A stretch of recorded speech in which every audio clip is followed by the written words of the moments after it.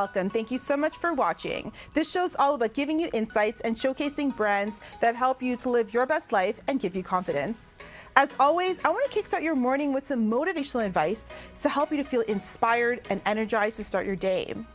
Today, I want to talk about the importance of understanding that personal growth comes with being uncomfortable. Being in our comfort zone feels safe, comfortable, and ultimately involves no risk. We feel comfortable because we know what to expect, and we feel safe knowing that everything around us is familiar. But the moment we step outside of our comfort zone, whether it's moving to a new city or meeting new people, is the moment we feel that uncomfortable feeling because deep down we fear the unknown. The truth is, feeling uncomfortable is a sign that you're growing. It's only through stepping out of our comfort zone that we can live life to the fullest and explore the world around us.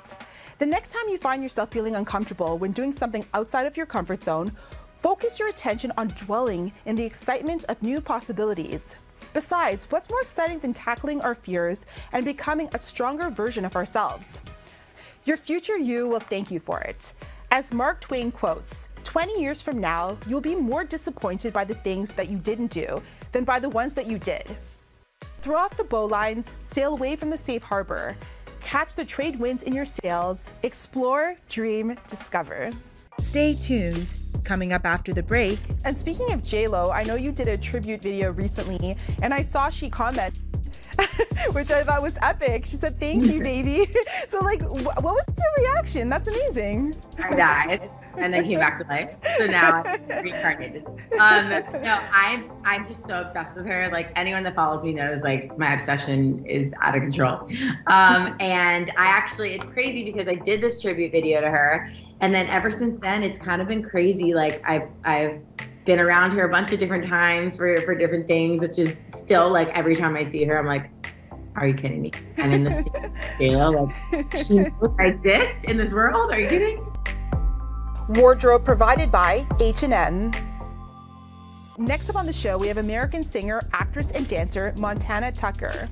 With millions of streams and views on social media, Montana was nominated as Social Star at the 2020 iHeartRadio Music Awards. Montana, thank you so much for being on the show today. How are you doing? Thank you so much for having me. I'm amazing. How are you doing? I'm doing amazing. Today's a beautiful sunny day. Nothing to complain about. Life is good. I, I was just telling you, you look like Demi Lovato. I, I'm telling you, I get it so often. I don't personally see it, but I get it. Like I have no makeup, makeup, hair up, hair down. No matter what, I get that I look like her. I don't know. well, it's not a bad thing. it's not a bad thing. Thank, Thank you. But let's talk more about you. Um, I want to talk about, you know, before becoming a social media star, I know that you started acting at the tender age of eight years old. So talk to us about that experience and, you know, what made you want to get into this industry? Yeah, I have always been obsessed with entertaining. My mom found these old videos of me when I was like five years old, and I would have sleepovers at my house and make all my friends like dress up and and I would direct them and say, okay, we're gonna play the Wizard of Oz today, and you know, like I would do these crazy things, and so I really just have always loved entertaining so much, and um, I started off um, modeling and acting when I was eight, and then it kind of transformed into me dancing and then singing, and it's just taken, you know, all these awesome paths in my career, and I'm I'm so thankful. But entertaining entertaining is just in my blood, I think. yeah, clearly, and I know that you were dancing for Ashanti and Ashlee Simpson as well. So how do you think that kind of shaped you into building your own brand today? Yeah, I think, you know, still to this day, performing is my favorite thing in the world. And so I think that's why I also do a lot of these social media videos because I think it's my way of like performing to the world, obviously behind a screen. But um, I just, yeah, I, I mean, dancing, I've always been so passionate about it. And as a backup dancer, you get so much experience and the experience of being on stage and performing and, and having that, you know, I, I can't even begin to explain the feeling that I personally get when I'm performing. And so I think that just built me into, you know, wanting to do it on a, on a larger scale and wanting to be that artist and wanting to be that performer versus just, you know, um, just a dancer. I, I felt like I wanted to do so much more. And so I think that's what led me to where I'm at now. Yeah, I love your videos, by the way. You're always so happy and it's just very positive, And I really like, you know, you can see it's your passion dancing. So it definitely shows. And I think that's why you have such a big audience as well. So I love your videos. Throwing it out there. I really love your videos. Yeah. yeah. And, you know, when did you realize that dancing was your passion? And what kind of steps did you take to kind of make it into a career? I think you know, I used to always watch Darrin's Dance Grooves, uh, the infomercials on TV. I don't know if you remember those, but he was, you know, Britney Spears choreographer, NSYNC's choreographer, and this was before social media. So his infomercials would come on TV, and I would just be like, "Mom, I'm just dying. To, I want to like learn from him. I want to dance. I want to dance." And she took me to one of his uh, dance workshops, actually in Florida.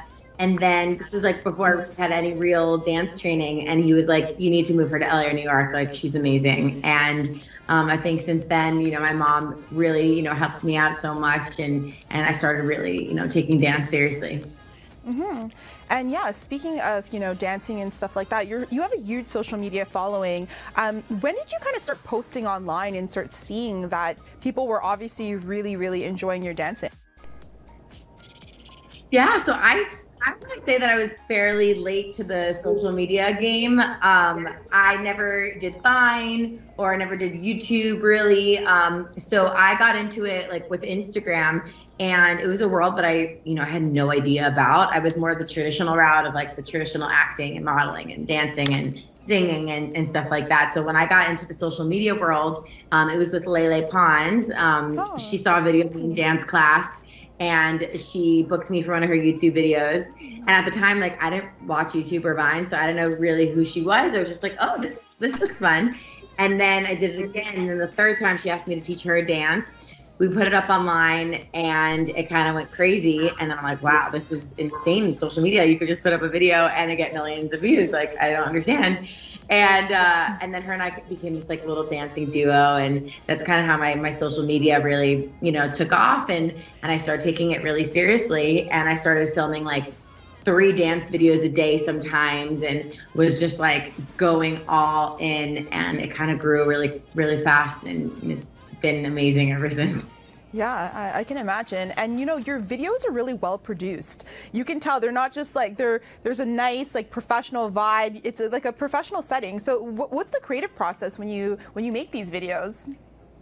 I thank you for saying that because I love. I think like that's also why I idolize you know J Lo or all these different things, different types of people because I feel like you know with social media it's on such a smaller scale, but like I have such big dreams of you know being in movies and TV shows and you know directing my own stuff and producing my own stuff because I you know direct and produce all of, all of my content. So you know my, my dream is to do it on on a on a larger scale one day. And so I just always it depends like if there's a new trend going on I'll try to see how I can make it my own or um, you know if there's a song that I'm just passionate about I'm like I want to just create to this um, or you know I, I try to have little storylines sometimes in my videos so I'm like okay, how can I fit this all into one minute or 15 seconds or 30 seconds? So it's an interesting process, but I love it so much. Yeah, and, and speaking of JLo, I know you did a tribute video recently, and I saw she commented which I thought was epic. She said, "Thank you, baby." so, like, wh what was your reaction? That's amazing. I died and then came back to life. So now I'm reincarnated. Um, no, I'm I'm just so obsessed with her. Like anyone that follows me knows, like my obsession is out of control.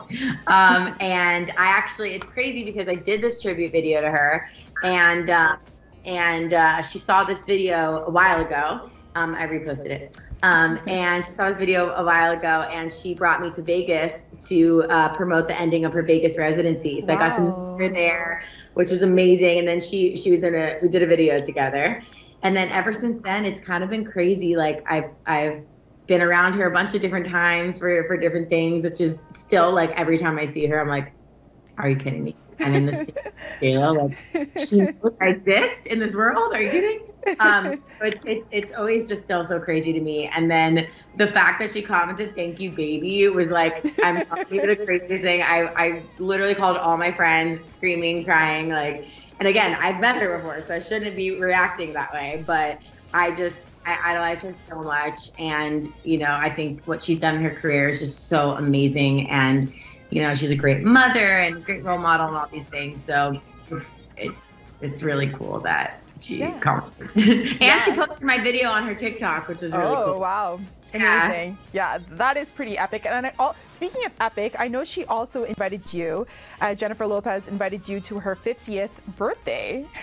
so talk to us about that experience. Like that's why it's so it's so crazy to me because you know, I don't know like who your idol is or someone that you've looked up to, but you never, you always think they're so unattainable. You're like, I would never like meet them or I'll never be in the same room as them. And so when stuff like that happens, it's just so crazy. And, you know, I'm, I'm, I'm so thankful that I, you know, I, I worked hard and, and that she, she saw my stuff and liked my stuff. So that's, that's really exciting to me. yeah. I think that, you know, when you work hard, as you said, and you have great energy, which you have amazing infectious energy, um, you know, and you're talented. So, you know, things happen. For me, I'm putting it out there. Oprah would be like someone epic. so I'm putting it out there, universe. Make me meet Oprah. it's going to happen. We're saying it. It's, it's, gonna, happen. I know it. I'm gonna manifest it into existence.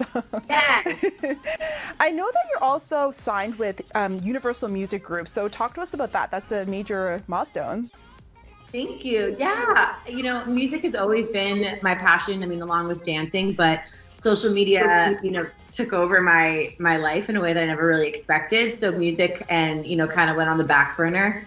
And so it's exciting that now I'm able to put music out. You know, for so long I was making, you know, these dance videos to other people's music. Mm-hmm. And so it's exciting to be able to make, you know, videos to my music and to have other people create videos to my music. Like it's just so mind blowing to me that that's, you know, happening right now. And I'm excited, you know, to I'm, I'm recording a lot new new music now, and we have some exciting news that will be coming out soon about new music that we can't release yet. But um, I I'm just super thankful that I'm, you know, I, I have built such an awesome platform, and I'm so thankful for the journey, and, and now I'm able to like really get out there and hopefully start performing a lot again, and and all the things I love to do. Amazing. Speaking of music, you have a new song, Be Myself. What, what's the message behind it? I love it. I keep humming it every day. It's such a catchy song. Thank you so much. You know, Be Myself is, is a, a song that's so incredibly close to my heart. Um, you know, I feel like I portray a lot of what I say in my song on my social media, and I have never really been able to put it into a song. And um, I, you know, I'm all about inclusivity and about staying true to yourself. I think with social media nowadays, it's so hard to not compare yourself to others or not feel like, wow, this person's life is perfect. They're so skinny. They're so pretty. Like, why don't I look like that? Why is my life not like that? And, you know, it's so hard no matter who you are. It's very hard to not compare yourself. And so I wanted to create a song to let people know, like, it's okay to you know take different paths in life than other people. It's okay to you know go the opposite way of what people are telling you that you should do or of where you should go and that you're amazing the way you are and it's okay to, to, to stay true to yourself and to be proud to be yourself.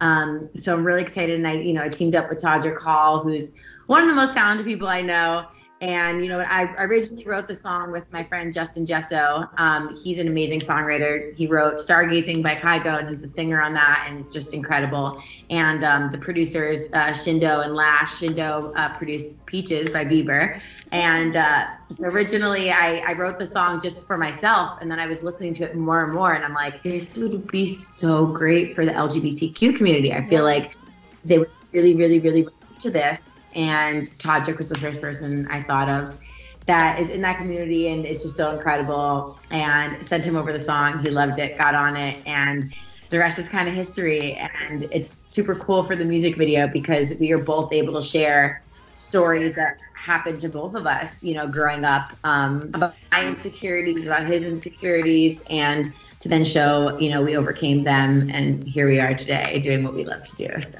Aw, that, that's amazing. Because as you said, with social media, you know, everyone's comparing themselves to other people. You know, you scroll through your feed, and there's just so many things that you know that people are comparing their lives to and sometimes it's not always realistic you know? Um, but you know i feel like you're really yourself. You're very authentic and you are who you are and you can you can feel that. Like how, how do you think you've remained to stay grounded in yourself despite your success with social media and you know everything? I think it's honestly so incredibly hard but i think it's because my mom is is was really strict growing up and uh, still is. I think I'll be like nine years old and somehow she'll still be around and like being strict. Um, but I think yeah, just the way I was brought up. Um, you know, my grandparents were Holocaust survivors, and I think that bled onto my mom, which bled onto me to like you know always always hard for what you want in life and that like you know things are never going to be easy or aren't always going to be easy and just to not give up and to keep pushing. And so i think that kind of you know has has translated through like i said you know through the generations.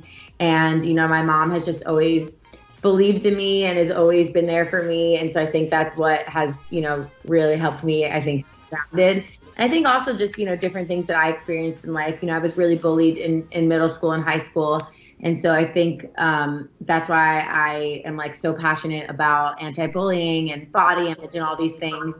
And so I, I, try to, you know, promote that on my social media and through my music. And it's crazy, you know, I'll, I'll do these videos and I'll have people write me like, I was about to give up today, and then I saw your video, and you wow. and you changed my mind. And it's just so in, insane to me that a, a video could do that. And so that's what what keeps me going, and and I think keeps me keeps me grounded on the right track.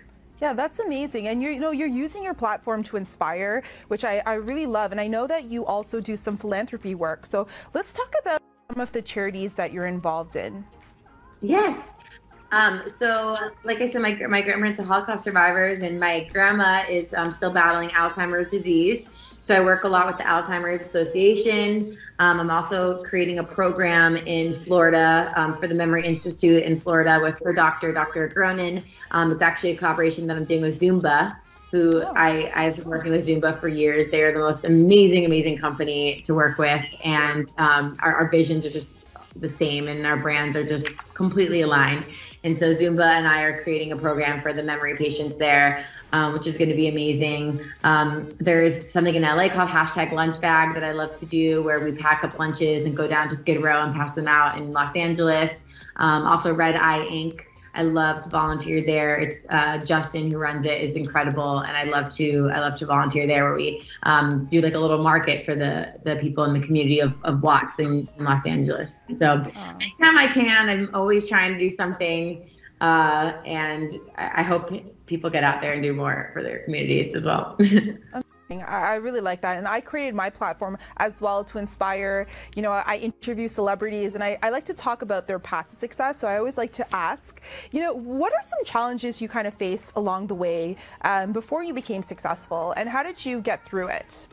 Yeah.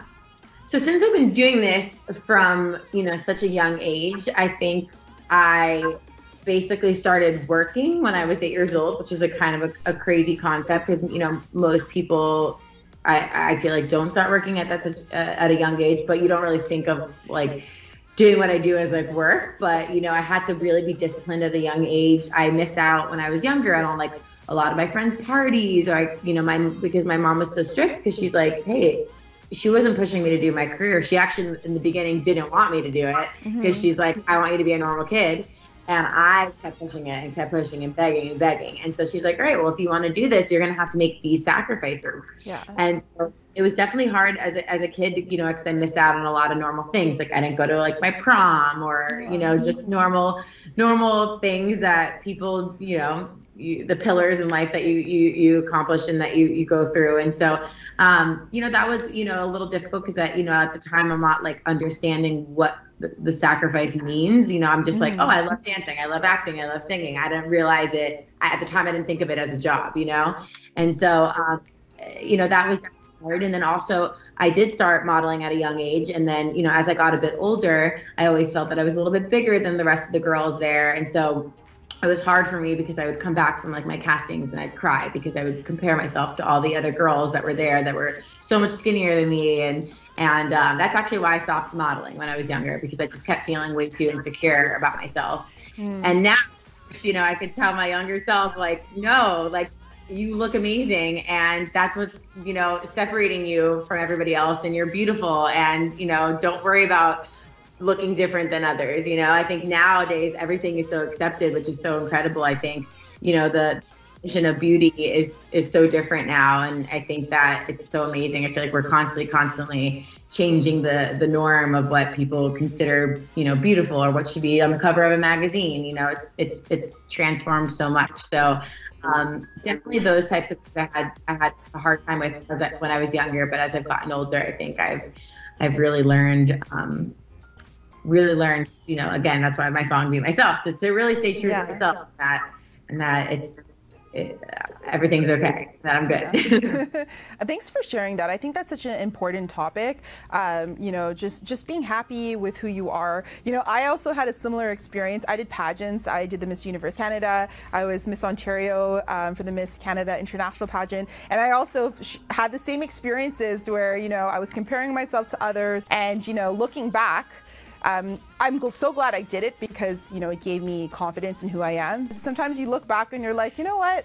I shouldn't have worried. You know, I should have just embraced who I was and that, you know, we're all we all are great the way we are and you know sometimes we just we're our own worst enemies and we just have to really accept ourselves the way we are you know so I, I think that's a great message and i appreciate you touching base on i think it's a message that a lot of people would like to hear, you know? a thousand percent. And listen, I still have those days where I compare and then I catch myself, but listen, I still have those days.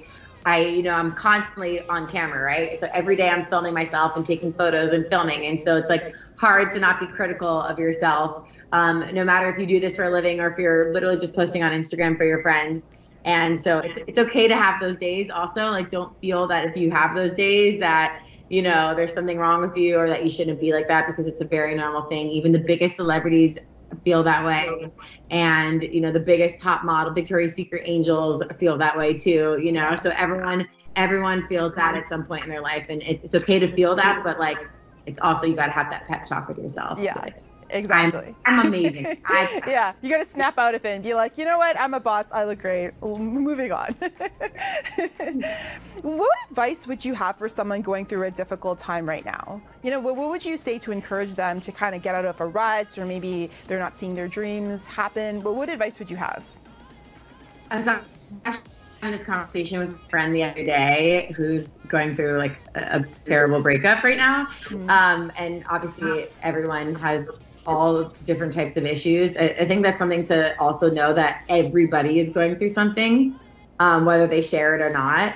And so, something that I learned when you know I went through a bad breakup, or or when I had something hard, like you you get in, you psych yourself out, and you and you get into the zone of being like, this is never going to stop. Yeah. Why am I going through this? Why is this happening to me? You, you get into your head, like our our minds are so powerful. Mm-hmm. It's crazy how powerful our minds are and so you have to think that like you will get out of this. Whatever you're dealing with right now, it is going to stop and it is going to change. But if you you don't think that way, it's not going to change and it's not going to stop. But you have to like your brain is so powerful, your mind is so powerful. If you just like sit with yourself and really say to yourself, this is temporary. Whatever I'm dealing with right now, it's going to stop and it's going to change, whether it's tomorrow, whether it's a week. But I got to stay on track and know that what I'm going through now is going to change and it's going to stop. And I think that's something that has helped me whenever I get, whenever I'm dealing with anything in life. I feel like if I just really sit there and, you know, again, it's not the easiest thing to do. Yeah. But when you do really snap out of it, then like I'm telling you, the path changes. It's crazy. yeah, I think that's great advice. You know, you're so inspirational, and I, I really liked our conversation today. Thank you so much, Montana, for being on the show. I want to ask you, last but not um, where can people hear your song, Be Myself? Where can they stream it or listen to it? Yeah. Hey, thank you much again for having me also. Um, but Be Myself is available on all the streaming platforms. Uh, it's on Spotify, YouTube, Apple Music, Tidal, all the things. Um, and you could just type in Montana Tucker, Be Myself, and then all my social media TikTok, Instagram, Twitter, YouTube, Montana Tucker. Amazing. We will link all of that information below for our viewers. Thank you so much, Montana, for being on the show today. It's it's really been fun, and yeah, hope come back anytime. Hopefully, we'll see you soon.